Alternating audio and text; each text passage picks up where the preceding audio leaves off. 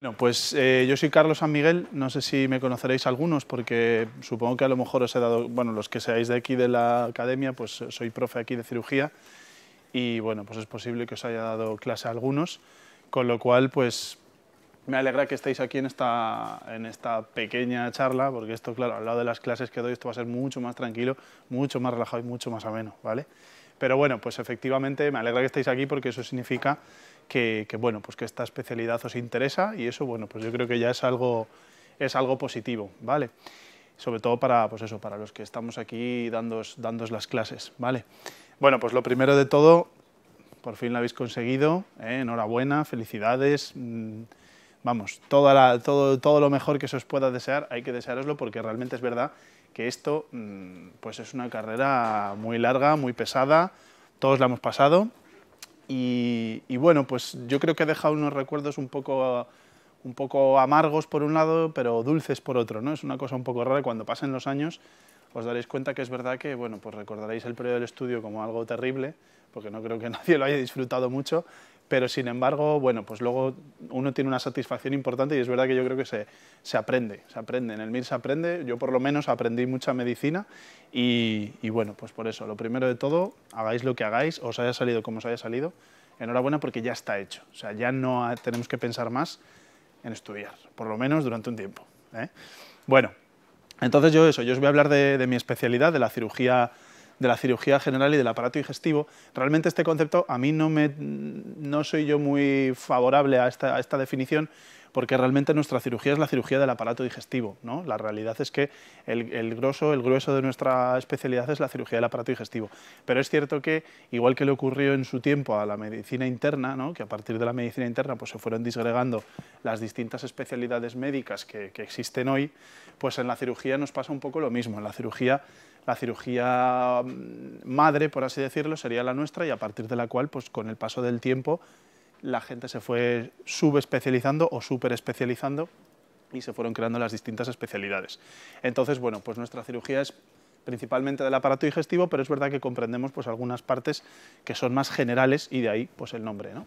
Entonces, bueno, cosas que tiene nuestra especialidad, bueno, pues nuestra especialidad es una especialidad eminentemente quirúrgica, es en un 100% quirúrgica, ¿vale? Y eso, bueno, pues eso es una cosa que desde luego todos tenéis que tener en cuenta, ¿no? Porque, bueno, pues uno siempre puede pensar, no, sí, a mí me gusta la cirugía, me gusta el estar en el quirófano y tal, bueno, pero, pero es, no, esto no es que te guste la cirugía y te guste estar en el quirófano, esto es que tienes que saber que te tiene que gustar mucho, ¿vale? Mucho, ¿por qué? Porque así lo vas a disfrutar mucho, evidentemente, pero porque, bueno, pues evidentemente al final te tiene que gustar mucho una cosa porque siempre vas a estar, si siempre vas a estar eh, utilizándola o en este caso ejerciéndola, ¿vale? Entonces, es una especialidad quirúrgica, y me voy a volver para acá, perdonad que me, pongo en medio de la presentación, es una especialidad quirúrgica, pero, y esto, bueno, pues mm, habrá gente a lo mejor que lo discutiese, pero es una realidad, es una especialidad muy médica dentro de la cirugía. ¿Por qué? Pues porque como todos vosotros ya sabéis, y lo sabéis muy bien porque os lo acabáis de estudiar, el aparato digestivo comprende una parte muy importante en lo que es toda la fisiología y por lo tanto la fisiopatología del organismo, ¿no? Y por lo tanto, pues es un, es un, un aparato, un sistema en este caso, muy susceptible de tener muchas enfermedades. Entonces, al final los cirujanos, evidentemente, pues tenemos que tener un conocimiento médico bastante importante no solo del medio interno a nivel de pues, otro tipo de alteraciones que también podemos tratar, como pacientes politraumatizados que pueden tener otro tipo de, otro tipo de mecanismos de lesión, sino que aparte, bueno, pues la propia fisiopatología del aparato digestivo pues es algo importante. Por otra parte, dentro de este concepto de la cirugía en general o general que os decía, nosotros también comprendemos la cirugía endocrino-metabólica, que eso quiere decir pues que evidentemente también tenemos que tener un conocimiento, evidentemente no como el de un endocrino ni de lejos, pero sí tenemos que tener unas nociones importantes pues, de todo lo que es pues, la fisiopatología del, sistema endocrino. ¿vale? Con esto quiero decir, pues bueno, pues que dentro de que es cierto que somos cirujanos, y somos cirujanos, pues somos unos cirujanos que somos muy médicos en comparación con otro tipo de cirujanos o con otro tipo de especialidades quirúrgicas, ¿vale? Y eso tiene una parte muy buena y una parte muy mala, evidentemente, ¿no? Porque al final pues te obliga, pues evidentemente, a seguir, a seguir repasando y actualizando conceptos, ¿vale? Pues como os decía, ¿de qué se compone exactamente? ¿Qué es eso de que sea general? Pues eso que os decía, realmente es una especialidad muy amplia. ¿Por qué? Porque a partir de nuestra especialidad se fueron disgregando las demás.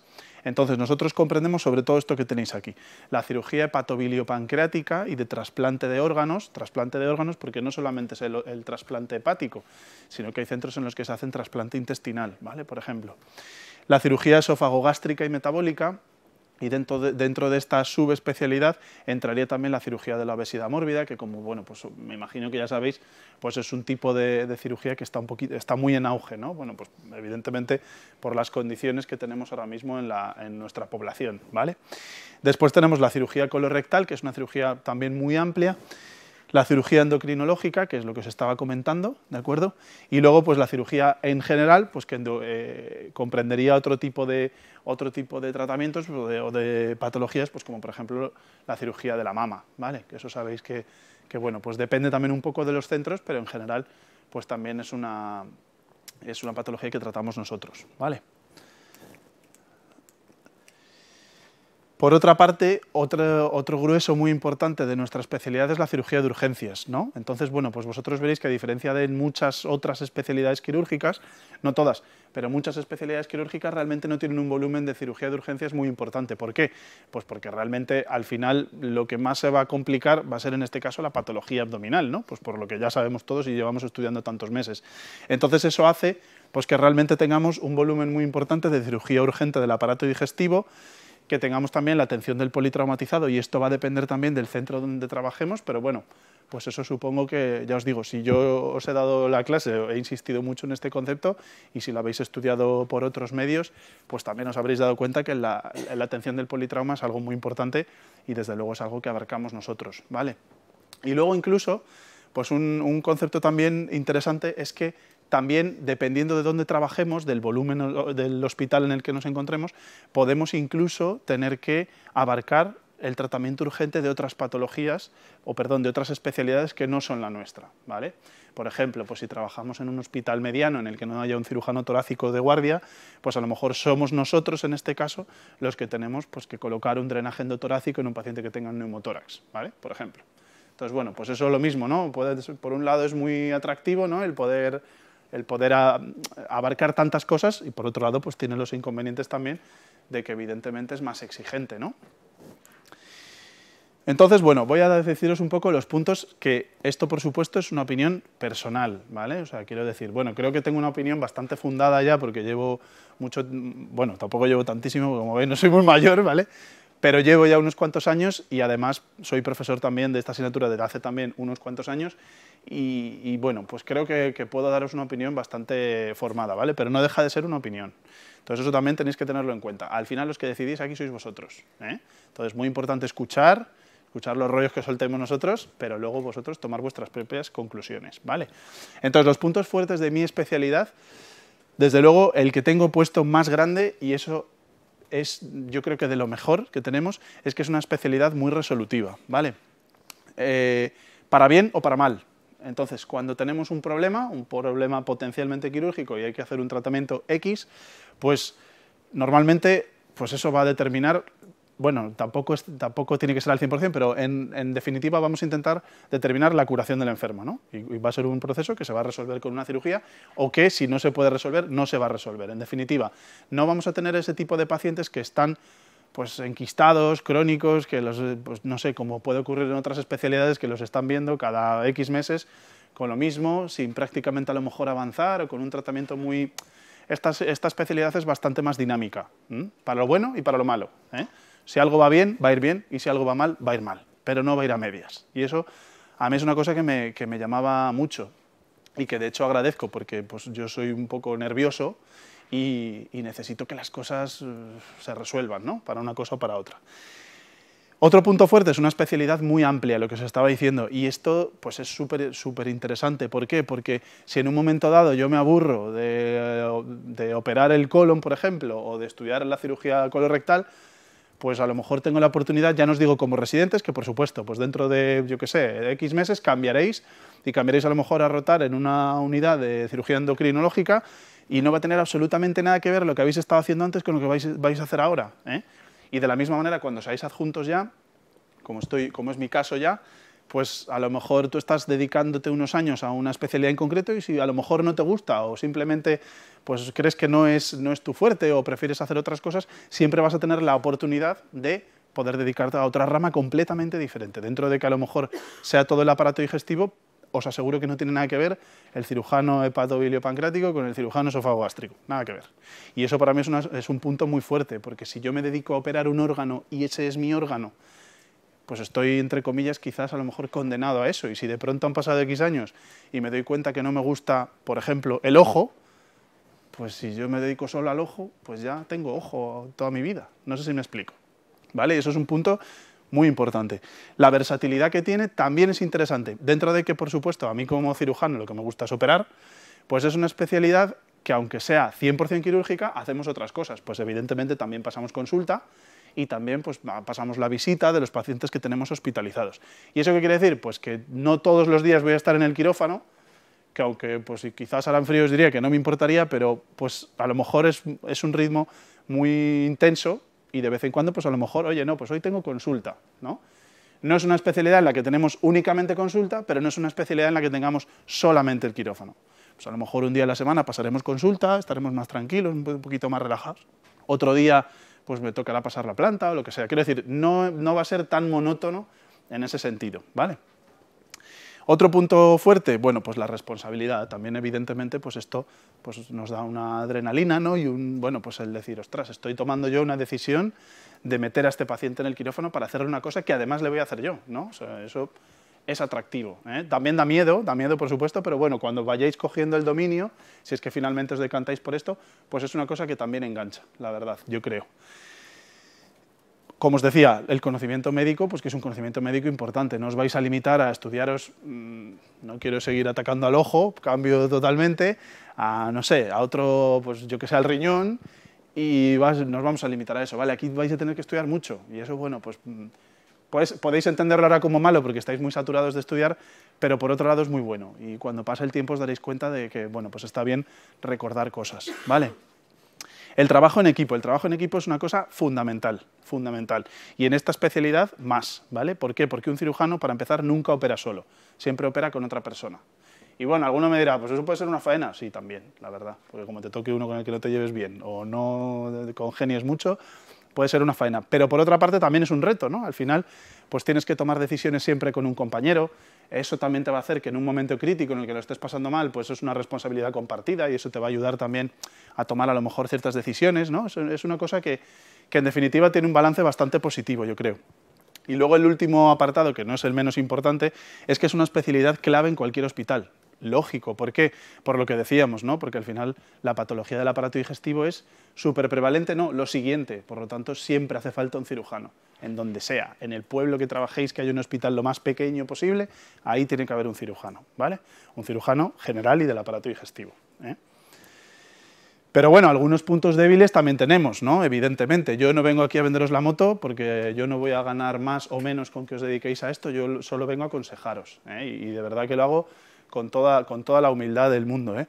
Pero pues tenemos algunos puntos débiles. Y el primero que pongo en negrita es el de la responsabilidad. Como os digo, es una cosa positiva porque, bueno, pues te engancha un poquito y tal, pero también tiene un punto negativo y es que ya sabéis que muchas veces cuando tenemos una responsabilidad muy, muy importante, pues eso nos puede, ir incluso en nuestra contra, ¿no? y nos puede derrumbar un poco. Entonces, pues tenemos que ser conscientes de que aquí muchas veces vamos a tomar decisiones que van a ser muy importantes para nosotros y para una persona en la que estamos decidiendo hacer algo y en la que, por supuesto, nos podemos equivocar, todos. Vosotros que estaréis empezando y yo que llevo ya unos cuantos años, nos podemos equivocar. Y por culpa de una mala decisión nuestra puede haber consecuencias importantes en alguien y eso a veces es difícil de llevar, ¿vale? Esto no es, uy, le he cambiado el antihipertensivo y la tensión ahora se le controla peor, ¡jo, qué faena! No, esto es que a lo mejor me he equivocado tomando una decisión y el paciente, pues por, por ese motivo, ahora tiene una consecuencia importante, ¿vale? O sea, que eso, de verdad, también es una cosa que tenéis que valorar, ¿eh? es, una, es un punto muy importante y por eso lo pongo en negrita. La especialidad muy amplia, pues bueno, evidentemente eso está fenomenal, pues porque nos obliga a estar actualizados en muchas cosas, pero también tiene una exigencia importante y sobre todo la residencia, La residencia es un momento crítico en el que tenéis que aprender muchísimo y vais a tener que estudiar mucho, claro, y no es lo mismo que el que se dedique pues a la cirugía de una cosa muy concreta, vosotros vais a tener que estudiaros toda la fisiopatología del colon y luego el páncreas, el páncreas endocrino, el páncreas exocrino, el no sé qué, ¿vale? Y eso, bueno, pues no es lo mismo que el que se tenga que estudiar otra cosa, ¿vale? El tipo de guardias, bueno, el tipo de guardias mm, yo no sé hasta qué punto es un punto débil, o sea, es una cosa pues, que es inherente a la especialidad. Como somos en ese sentido tan, eh, bueno, iba a decir importantes, sí, bueno, importantes en el tratamiento de ciertas patologías que son muy urgentes, pues eso hace que nuestras guardias puedan ser malas, puedan ser malas o no, depende un poco también, ¿vale? No es que por norma sean unas guardias terribles, quiero decir, peores guardias a lo mejor pues las pueden tener los anestesistas, porque los anestesistas siempre van a estar liados. Si no es con nosotros, va a ser con los traumatólogos, si no con los ginecólogos, si no con los urólogos, si no con, con quien sea, pero ellos siempre están liados. Nosotros, bueno, pues depende, ¿no? Podemos tener una guardia muy mala, pero puede que no tengamos una tan mala. Pero bueno, es cierto que, pues evidentemente hay otras especialidades pues que tienen unas guardias que son por definición tranquilas. Las nuestras no, no suelen ser así tampoco, ¿vale? Bueno, esto de las jornadas sin horas también lo pongo entre comillas, ¿vale? Vamos a ver. Tenemos que tener claro que, pues así como en otras especialidades, los horarios laborales, eh, laborables, ya sabéis que en el hospital pues es de 8 a 3, ¿no? Pues evidentemente si tú estás operando un cáncer de colon y son las 3 y te queda por hacer no sé qué, pues tú no vas a coger y vas a decir, bueno, me voy, mañana ya termino, dejad al hombre aquí dormido y ya mañana lo termino. No, evidentemente eso no lo puedes hacer. Entonces, bueno, pues eso implica que pues va a haber días en los que inevitablemente pues vais a salir tarde del hospital. Pero por el motivo que sea, porque algo se ha complicado, porque, bueno, pues porque a lo mejor habéis decidido cambiar un tratamiento en un momento dado. Entonces, bueno, pues el que a lo mejor valore mucho que su horario laboral tiene que ser estrictamente de 8 a 3, pues probablemente esta no sea su especialidad, ¿vale? No es lo habitual y no es la norma, también os lo digo, pero puede pasar. Y eso es una cosa que también eh, puede ser un punto débil, desde luego, ¿vale? Y bueno, las salidas laborales lo pongo ahí, pero tampoco creo que sea un, problema. Quiero decir, frente a, frente a que a lo mejor no es, no es la especialidad que más trabajo tiene, también os diré que, como, bueno, como os acabo de decir, es una especialidad que en cualquier hospital tiene que haber un cirujano. Y eso hace que, dentro de que las salidas laborales en, general pues son un poco limitadas en casi todas las especialidades. Es cierto que hay algunas pues, que están, eh, están en este momento muy bien, que eso no quiere decir que dentro de cinco años lo sigan estando.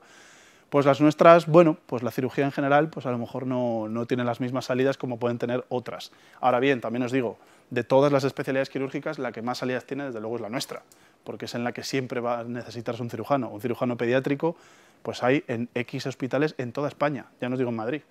Entonces, bueno, pues eso, si lo consideráis, también puede ser importante. Pero yo nunca recomendaría ni os recomendaré que hagáis una especialidad por las posibles salidas que tenga, porque eso sería un error muy gordo. Yo siempre digo lo mismo, hay que hacer lo que a uno le guste, porque a mí, pues yo tengo familiares médicos y cuando yo dije que quería ser cirujano, pues yo quería de, toda mi vida, pues a mí me decían, pero vas a hacer otra cosa, pero no hagas eso, no sé qué, tal, y, luego no vas a encontrar trabajo. Bueno, pues yo terminé la residencia y al día siguiente empecé a trabajar y no está paro nunca, ¿vale? Y ya he terminado, voy, a hacer hace cuatro años ya. O sea que, que bueno, que lo de las salidas es algo relativo, ¿vale?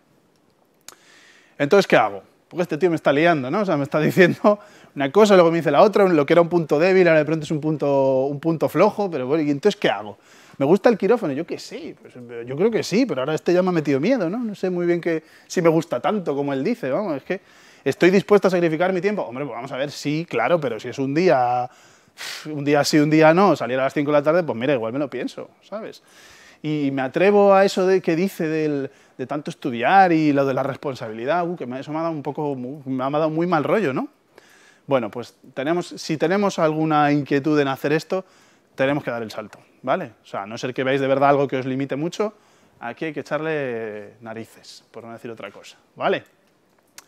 Entonces, bueno, eso ya hablando un poco en términos generales de la especialidad, Respecto del servicio, bueno, pues del servicio, esto es importante, ¿de acuerdo? Cuando elijáis el servicio que elijáis, yo creo que en concreto en nuestra especialidad es muy importante que encontréis un servicio en el que haya tutores, tutores de residentes, ¿vale? Pero tutores de verdad.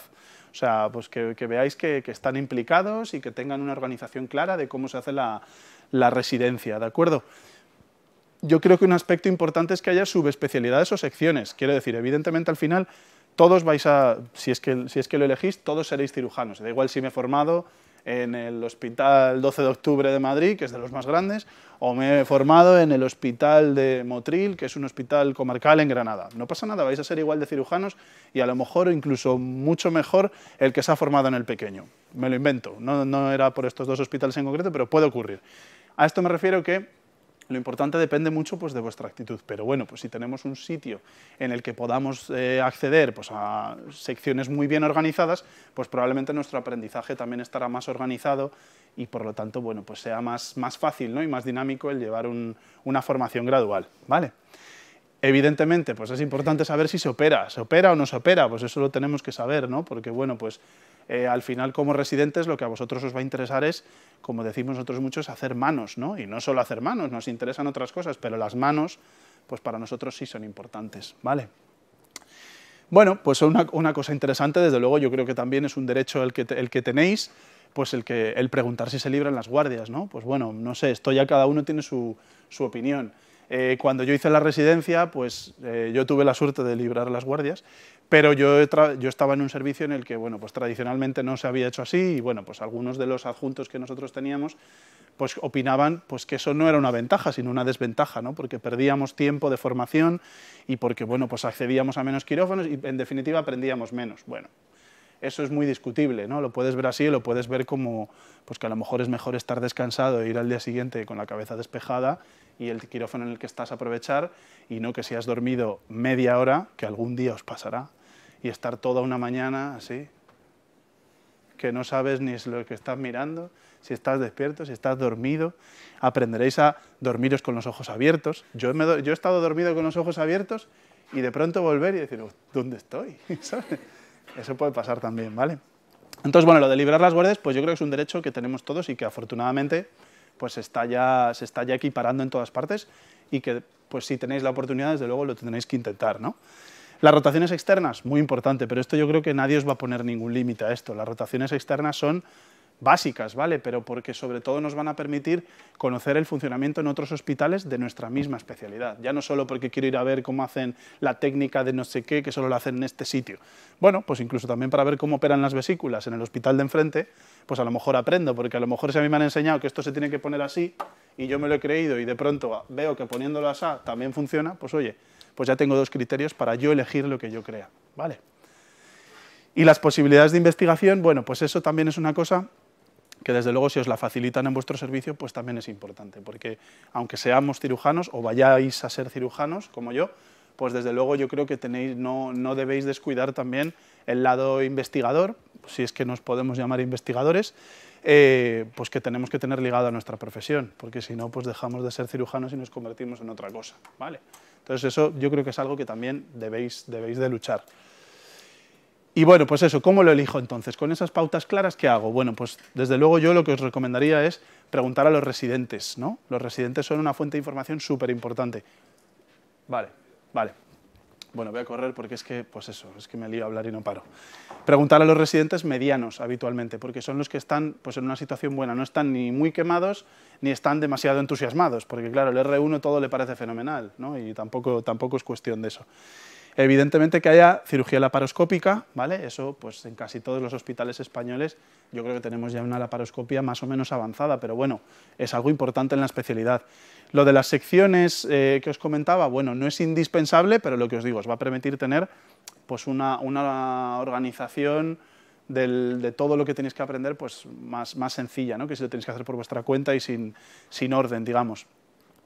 La producción científica, la asistencia a congresos, la publicación de la tesis, todo esto, pues también es muy importante, que sobre todo en base a los residentes que vayáis conociendo, que tanteéis un poco a ver cómo están funcionando y bueno, pues qué tipo de actividad docente llevan ellos en general. Las sesiones del servicio también es algo importante, porque al final vosotros, como médicos en formación, pues tenéis que, tenéis que obligaros un poco pues, a hacer ese tipo de sesiones, a exponer en público, que un día os pongan la cara colorada porque habéis presentado una cosa mal, bueno, pues todo esto es importante y desde luego si lo aprendes en tu servicio, mucho mejor que en un congreso nacional que te están viendo los del hospital de enfrente y están deseando que te equivoques para luego decirme, es que esto no tienen ni idea, tal, ¿vale? ¿Qué pasa también? Y luego, Respecto al hospital grande y el hospital pequeño, bueno, pues ahí tenemos la eterna cuestión. Y como me han dado cinco minutos, si queréis luego hablamos tranquilamente de esto. Y bueno, pues os doy mi opinión también, porque yo tengo la, suerte o la desgracia de que he conocido las dos cosas, porque empecé, la residencia la hice en un hospital grande y ahora, y ahora trabajo en un hospital mediano, no, pequeño, mediano, un hospital mediano, ¿vale? Y bueno, pues creo que todo tiene sus ventajas y sus inconvenientes y, si queréis ahora lo vemos, pero es que esto da para debatir mucho, ¿vale? El trasplante, bueno, pues el trasplante, desde luego, si tenéis acceso a un hospital, a un servicio en el que se haga trasplante de hígado, pues fenomenal, porque es una cosa chulísima, muy bonita, muy interesante, vais a aprender un montón. Ahora bien, ¿es imprescindible? Pues yo creo que probablemente no. Quiero decir, yo me formé en un centro con trasplante y bueno, pues hice mi tesis doctoral del trasplante, o sea que me ha servido y lo he utilizado y lo he disfrutado. Pero bueno, pues no creo que eso haya, ni eso me ha hecho estar mejor formado que alguien en un hospital sin trasplante, ni por supuesto ha hecho que yo ahora me dedique a hacer trasplante, que vamos, no lo he vuelto a ver desde que acabé la residencia, ¿vale? O sea, que, que no os obsesionéis con eso del trasplante, porque bueno, pues es un plus, pero no es, no es algo básico que tenga que saber un cirujano digestivo o general, ¿vale? Y el ambiente de trabajo, pues el ambiente de trabajo es fundamental. O sea, vamos a ver, ya que estamos todos aquí, con eso que os digo, la responsabilidad, mm, a veces sufriendo y tal, pues desde luego es importante que veáis pues que hay buen rollo, ¿no? Y que los residentes pues se llevan bien entre ellos, que los adjuntos pues también les tratan bien y se, y se llevan bien entre ellos, ¿no? Se preocupan por vosotros, todo eso desde luego es muy importante, ¿vale? Entonces, en definitiva, que lo preguntéis todo, ¿vale? Que lo preguntéis todo, que no, no, que no os dé vergüenza ser pesados porque nunca vais a ser pesados. Bueno, sí podéis ser pesados, pero no pasa nada. Pues es mejor ser pesado y que digan, jo, este tío qué pesado es, que ha venido ya tres veces, otra vez, tal. Pero, pues yo prefiero que pensaran de mí que soy un pesado, pero irme con las ideas claras. Y luego no llevarme sorpresas y decir, no, es que yo pensaba que, yo creía que... Ya, pero tío, ya es tarde, ya estás aquí, así que ahora hacer las cosas así, ¿vale? O sea que preguntarlo todo preguntad en distintos hospitales sobre el hospital que os interesa. Porque, bueno, pues está bien. Oye, ¿qué opinas tú del hospital este de enfrente? que es el que en realidad me gusta, pero se lo pregunto a los vecinos. Y oye, pues a lo mejor os dirán, pues mira, no, la verdad que esto lo hacen muy bien, esto tal. Eso es un truco muy bueno. Preguntar a las especialidades dentro del mismo hospital distintas de la, de la que nos interesa, que en este caso es esta. Pues hablad a lo mejor con los ginecólogos o con, o con otros especialistas. ¿Qué, ¿Qué, tal los cirujanos de aquí? ¿Cómo son? ¿no? Y eso pues también os puede dar una información muy interesante que a lo mejor pues no, no os dabais cuenta de eso, ¿vale? Pero desde luego no os volváis locos, ¿vale? Otra cosa también súper importante, tened bien, bien establecida una lista de lo que queréis hacer y si lo que queréis hacer es mi, especialidad o nuestra especialidad, pues haceros una lista bien, bien ordenada de todos los hospitales que haya y a todos los que queréis ir, porque pueden ocurrir pues sustos de última hora que nos hagan tomar decisiones precipitadas, ¿vale? Así que si lo tenéis claro, yo me ordenaba desde el de Galicia hasta el de Almería, todos, ¿vale? Si de verdad lo tenéis claro. Y luego, una cosa súper importante, la residencia no depende tanto del hospital ni del servicio, eso es verdad, solo depende de vosotros, ¿vale? O sea, que no os preocupéis y que no por estar en un hospital de tercer nivel, de, de aquí de Madrid, de la capital o de Barcelona, tal, os vais a formar mejor, que a lo mejor en un hospital de una provincia más pequeña, en absoluto. O sea, y eso, que nadie os lo venda así, porque eso es mentira, ya os lo digo. La residencia va a depender de vosotros, de lo que estudiéis, de lo que os lo ocurréis, de lo que trabajéis, de lo que operéis, pero eso depende de vosotros. Y si yo soy vuestro adjunto el año que viene, pues yo evidentemente intentaré pues, motivaros, fomentaros hacer cosas y tal, pero si no lo consigo, pues evidentemente por muy motivado que yo sea, las cosas no saldrán. O sea, quiero decir que que no os, preocupéis, que depende de vosotros, exclusivamente, ¿vale? Y bueno, pues esto ya lo hemos comentado, ¿no? Hospital grande, pequeño, lo vamos a hablar ahora, en lo del trasplante si es importante. Y bueno, pues que si es mi especialidad, y pongo ahí, nadie dijo que sería fácil, pero bueno, hay que seguir luchando. Pues eso es verdad, muchas veces también nos pasará, y yo creo que nos pasa a todos los médicos, ¿no? O, a mí me ha pasado, y yo soy un enamorado de mi especialidad, muchas veces decimos, a lo mejor tenemos un mal día y decimos, ostras, me habré equivocado, ¿Esto era realmente lo que quería? ¿No? Y entonces, bueno, pues tenemos que tener en cuenta que, los médicos somos así, ¿no? Llevamos toda la vida como borregos, nos dicen que hay que sacar buenas notas, buenas notas, que ahora hay que hacer no sé qué, lo hago. Ahora tal, ahora el MIR, y ahora no sé qué. Y ahora de pronto te dices, ¿y ahora qué tengo que hacer? Ah, no, no, lo que tú quieras. Y tú, pero bueno, no decides por mí. Si llevo así toda mi vida, ahora tengo que decidir yo. Y eso parece una tontería, pero eso es, es duro también, ¿eh? porque no estamos acostumbrados a hacer esas cosas, ¿vale? Así que que no os preocupéis y que no hay nada irreversible, que eso también es importante, ¿vale? Pues nada, muchísimas gracias chicos y si queréis, pues ahora hablamos un ratito de, lo que necesitéis, ¿vale? Gracias.